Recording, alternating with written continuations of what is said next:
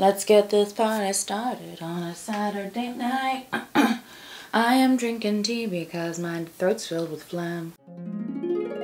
Cupiando, I'm, I'm Professor Nyx, here to inform you that due to the chaotic magical energy contained within this video, you may be viewing footage from alternate timelines. Please don't be concerned. My team is working on this as we speak. Enjoy your video! Met, Internet. I have spent this entire week drenched in nostalgia in preparation for this video.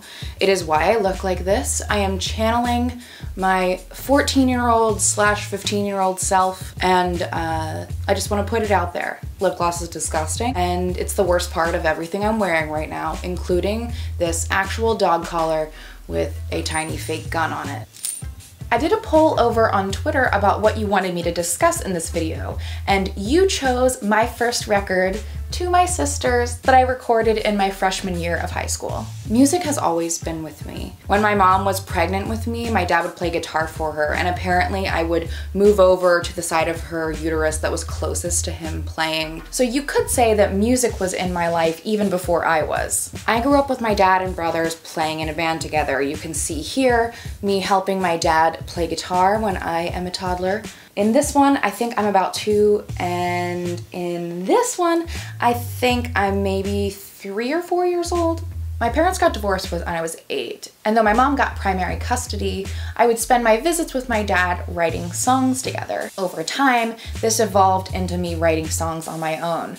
I remember getting really into it when I was about 10, as I had just seen the 2001 comic book to movie adaptation of Josie and the Pussycats, which I attribute about 60% of my personality and goals. I saw that movie and I was like, holy crap, I want to be Josie. Please let me be Josie immediately, hence this photo. I started writing songs about my life, my friends, my misguided understanding of what adult relationships were like that I gleaned from pop music. As I got older, my songs became confessionals for me, a place for me to deal with the complex emotions I was having about my first relationships or my bisexuality. I was really inspired by bands like Bowling for Soup, and Good Charlotte, who helped me maintain a healthy sense of humor when I was talking about darker topics, or Avril Lavigne, who had an irreverent approach to the way she spoke about the world. Avril was actually my first real concert. Honestly, I have no regrets. I had a great time. I remember the exact outfit I wore. Though my connection to my dad has always been music, my connection with my mom has always been through theater and costumes and fashion, stuff like that. When I was about 13, my mom got a job working at the American Music Theater in Lancaster County and started making connections in sort of like the independent music scene that was a part of that theater. So that meant my mom had access to people who owned recording studios. Specifically, there was a gentleman in upper management at AMT, who I'll call John. I won't completely out him. I don't know if he still works there. But John had a studio in his basement, and for Christmas 2004, perhaps the coolest present a parent could ever give a teenager, my mom gave me studio time. Like eight hours of studio time. Eight hours is nothing when it comes to recording an album, and to be honest, I have spent probably more than eight hours just on singular songs since, but back then it was just me and my out-of-tune acoustic guitar and my incredible Schecter Diamond series with pink and purple flames on it, seen here. I'm a little bit older here, I'm about 17, so it's honestly considerably after when I recorded to my sisters, but the guitar remains the same. I named it Haruko-san after one of the lead characters in my favorite anime, Fooly Cooly. Fooly Cooly, you do it like this with your hands. When I first stepped in that studio, I felt like a superstar. I felt like I was going somewhere. John made me feel really comfortable and he even showed me how to mix some of the songs. He seemed genuinely enthusiastic about helping me figure out what was going on and instructing me about the process. That little seed of information that he gave me was able to grow over time into my ability to record music myself. Once the tracklist was decided and these songs were recorded with help from a friend of mine who knew how to play piano, I was confronted with the obstacle of how I was going to release this thing. My solution that I decided on was getting colored slimline jewel cases and writing my name and the album title on it in colorful Sharpie depicted here in a photo because I don't have a copy anymore. And in that slimline jewel case, there was a little printout that listed the tracks as well as sort of the credit for the songwriting. My mom wanted me to charge people $5 for the CD when I sold them, but I felt uncomfortable charging that much, so I decided to sell them for $2 a piece. But how to advertise the release of my first official album? Well, I had an idea for that. And that idea was convince my boyfriend who worked on the announcements to play the best song on the record on said announcements. And guess what? It worked. It also helped that I wore a t-shirt that said Hayley Jane to my sisters by my CD in Sharpie. That feeling of sitting in homeroom hearing my song over the loudspeakers surrounded by my peers was honestly indescribable. I don't know necessarily if I can put it into words, so I think the best way to explain it would be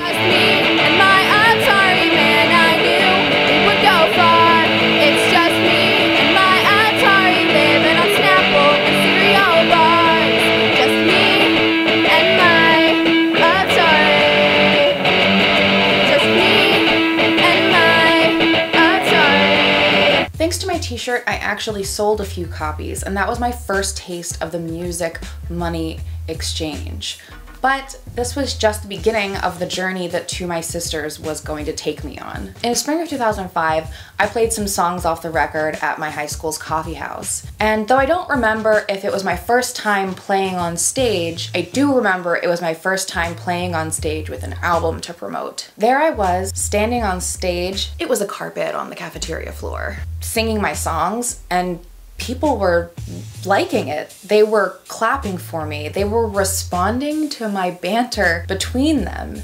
And at the end of that set, I said, buy my CD. And then people did.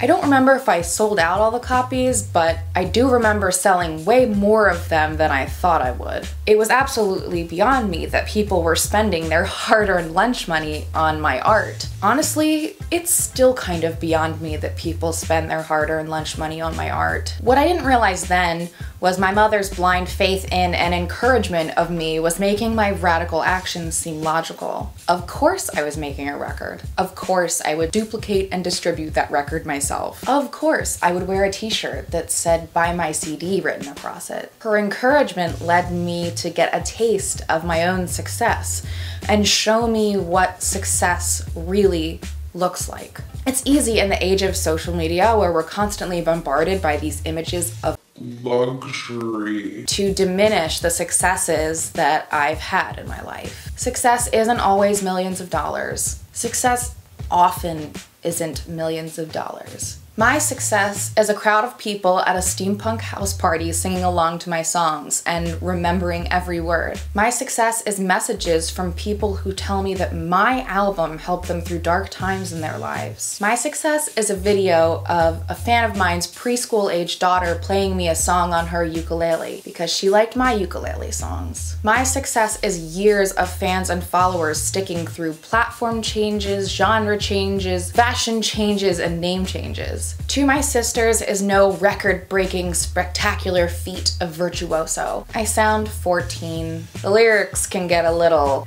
ugh, if you want to know what I'm talking about, check out my Patreon where I post the lyrics of a song called Legal Girls that I am so embarrassed of. It honestly makes me physically uncomfortable to say the title of it. But I made it on my own terms. It was my first taste of the recording process and my first taste of selling art directly to fans. I wouldn't change it for the world. Plus, to be honest, songs are still fire. Cause Grand Theft is his future and the on his computer, they support his life force. It is kind of sad while he's busy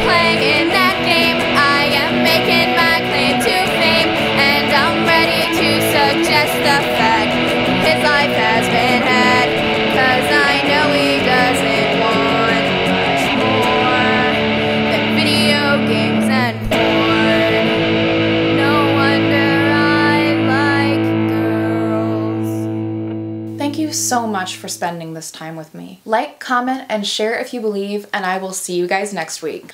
Cubiando! It's over.